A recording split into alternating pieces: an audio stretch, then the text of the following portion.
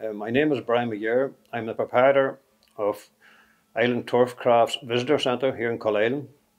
We have now tied in with uh, Island and East Great Places scheme, which gets it all together to try to promote this area and bring a bit of tourism to the Island area.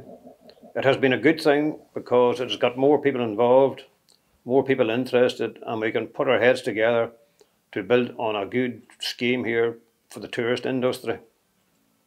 Uh, and through uh, and East Tyrone Great Places scheme, we've got to learn more about the history of Island, the weaving factory and the different factories were here years ago and bringing knowledge to the local people and to tourists alike.